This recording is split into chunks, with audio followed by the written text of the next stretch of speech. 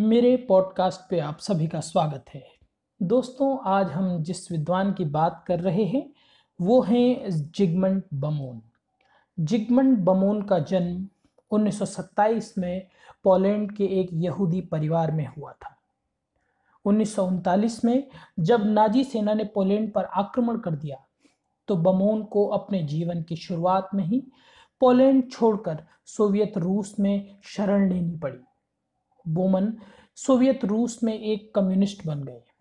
उनका एक सफल सैन्य कैरियर रहा। द्वितीय विश्व युद्ध में जर्मन सेना के खिलाफ अदम्य साहस दिखाने के फलस्वरूप सन 1945 में उन्हें मिलिट्री क्रॉस से सम्मानित किया गया। सोवियत रूस से निकलकर इसराइल में बसने की चाहत के चलते सन उन्नीस सौ तिरपन में बोमन ने इजरायली दूतावास में कुछ छानबीन की और जिसका पता चलते ही उन्हें मिलिट्री से निकाल दिया गया। सेना से निकाले जाने पर बोमन ने एमए किया और वॉर्सो यूनिवर्सिटी में लेक्चरर बन गए। शुरुआत में वे एक कमिटेड मार्क्सवादी थे, लेकिन समय के साथ साथ जैसे जैसे वे पोलैंड की कम्युनिस्ट सरकार की आलोचना करने लगे तो उनका मार्क्सवाद के प्रति नज़रिया भी बदलने लगा। उन दिनों पोलैंड की सत्ता में यहूदियों के खिलाफ भावनाएँ विकसित होने लगी थी। यह देखकर बोमन ने कम्युनिस्ट पार्टी की मेंबरशिप छोड़ दी और तेल अवीब इसराइल में आकर बस गए।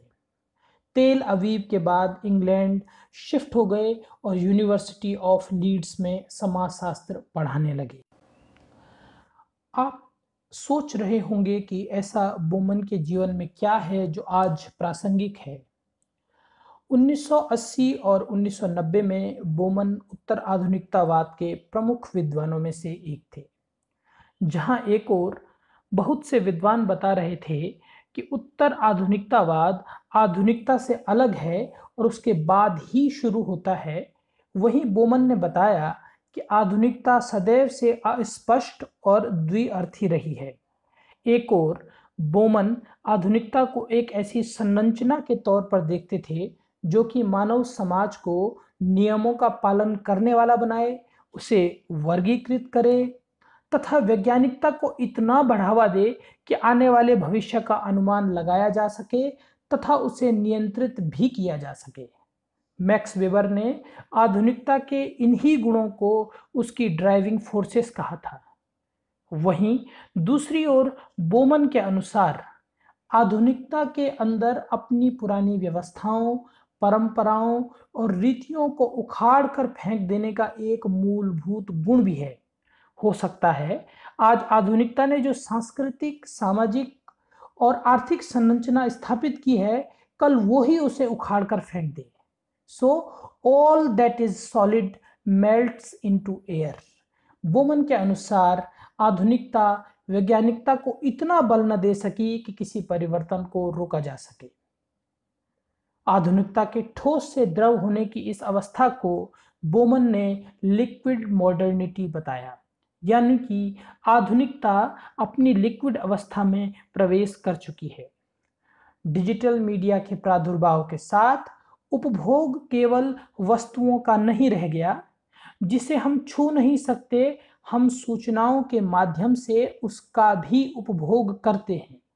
सालों से मानव सभ्यता, मुद्रा का मतलब हाथों पर महसूस होने वाले किसी कागज़ या सिक्के को समझती थी।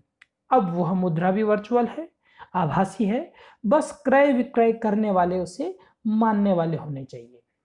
बोमन की लिक्विड मॉडर्निटी भौतिक दुनिया से आभासी दुनिया के पीछे के तर्क को बताने की कोशिश करती है।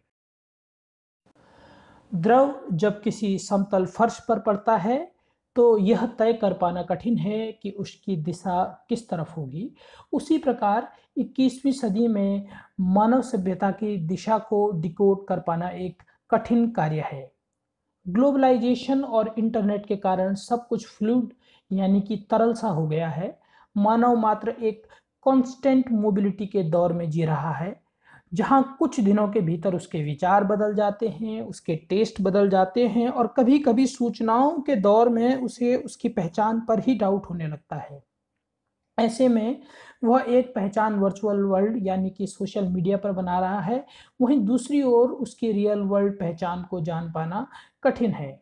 बोमन कह रहे हैं कि लिक्विड मॉडर्निटी के दौर में कोई ऑर्डर यानी कि क्रम नहीं है। यदि कोई क्रम है भी तो मानव सभ्यता उसे पढ़ नहीं पा रही।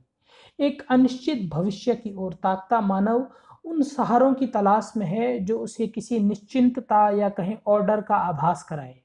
ऐसे में दुनिया भर में उन नेताओं का अभ्युदय हुआ है जो कह रहे हैं कि मैं आपको एक सुनहरे भविष्य की तरफ़ ले जाऊँगा।